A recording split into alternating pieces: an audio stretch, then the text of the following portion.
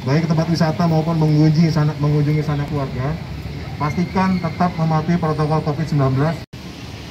Mulai sore siang tadi, kami di Wisata dengan polda-polda lainnya telah melakukan pendekatan terhadap penerapan. Kami sampaikan kepada teman-teman hal ini karena supaya kita untuk mengeluarkan kendaraan-kendaraan yang dari arah Cikunir. Kemudian juga kami juga sudah berkoordinasi dengan pihak rest area karena ada ketentuan rest area hanya diisi 50%, maka eh, apabila tidak kepadatan juga tidak boleh melintas. Kalau Kemudian ini kalau ada pohon Pak ya. situasi arus masih cukup terkendali.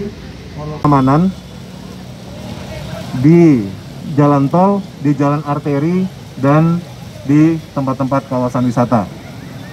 Eh, beberapa kerawanan yang kita perkirakan akan terjadi adalah kepadatan menuju ke arah Cikampek dan eh, untuk menga- mengantisipasi hal tersebut skenario-skenario sudah kita siapkan skenario kontraflow maupun skenario one way